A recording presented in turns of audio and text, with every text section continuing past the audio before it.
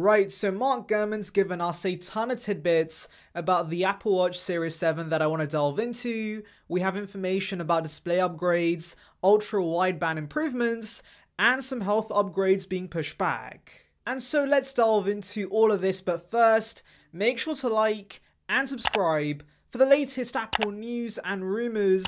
And with that being said, let's just tuck in. Right, so beginning with the Apple Watch Series 7, the first thing Mark Gurman mentions in his report is a faster chipset, and this really should not be a surprise because, much like every other Apple product, we always get a new chipset with every new generation of the Apple Watch, and so yes, to no one's surprise, the Apple Watch Series 7 should be faster than the Apple Watch Series 6. Now do note, as per the norm, Mark Gurman does not give us any specific details, and so while we do know the next SoC should be faster, we have no idea by how much, and so yes, expect a pretty minor performance upgrade with the S7 chip, since the S6 was quite a major upgrade and so I doubt Apple's going to give us another major performance boost within the space of a year or two. Anyways, moving on, the next thing Mark Gurman mentions is the improved ultra wideband connectivity we should see with the Apple Watch Series 7. So,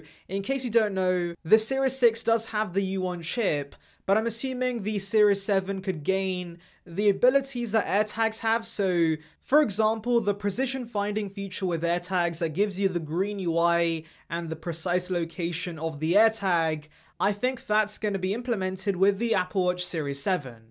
Now, I do want to mention that I did find it pretty odd that Mark Gurman talks about connectivity improvements with ultra wideband and yet mentions nothing about 5G because we actually have heard quite a few rumors about 5G coming to the Apple Watch. And it does kind of make sense because we've seen 5G on the iPhone and now the iPad.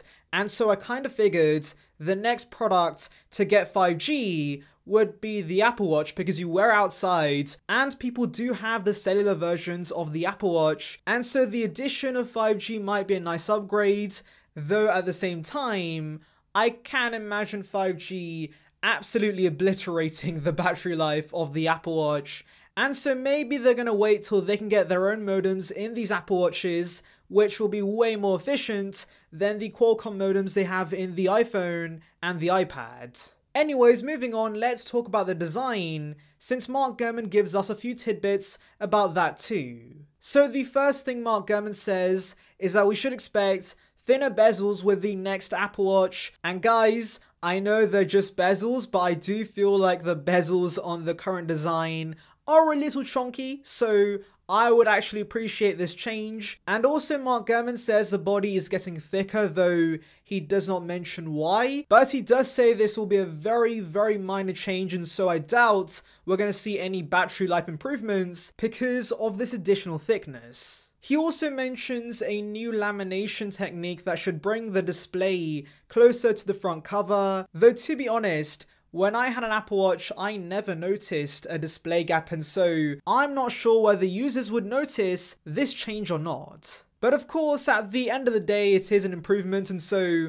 I will gladly take it. Though again, much like 5G, Mark Gurman also mentions nothing about the flat-edged redesign that we've been hearing about from other sources, and that's pretty odd to me because why would he not mention that in this report about the Apple Watch upgrades, considering a flat-edged redesign to the Apple Watch would be pretty massive. And so yes, it is certainly interesting that Mark Gurman mentions nothing about this, and now I'm sort of worried the redesign isn't happening. Now, I don't want that to be the case because the Apple Watch does need a redesign. It's been three generations of the same exact design, and it's getting a little stale, and especially with the iPad and the iPhone and the new Macs all going for this flat edge design, it would be nice for the Apple Watch to follow suit. Anyways, let's move on to the health upgrades we were expecting with the Apple Watch Series 7,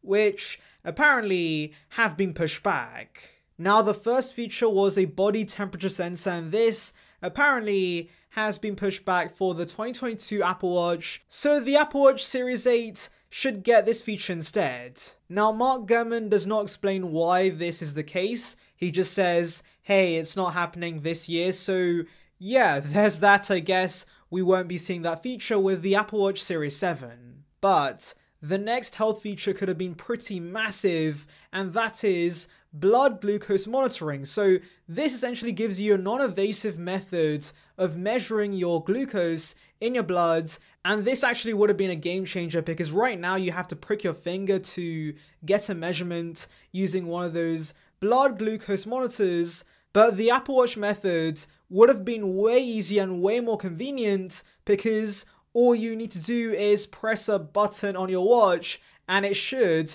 automatically measure your glucose any time of the day. And so, like I said, that would have been a game changer. However, according to Mark Gurman, the feature is just not ready for commercial use for at least the next several years. So, yeah, we won't be seeing this feature anytime soon, and that is a real shame. But that is a sad reality of this technology because obviously the tech itself is very premature, and then putting all that tech into a watch, that's another hurdle, and so I can see why it's gonna take a few years. Anyways, let me know in the comments below, are you going to be buying the Apple Watch Series 7? Anyways, thank you for watching. Make sure to like and subscribe for the latest Apple news and rumors, check out the video in the icon above about details regarding the iPhone 13. And on that note, I'll see you guys in the next one. See you peeps!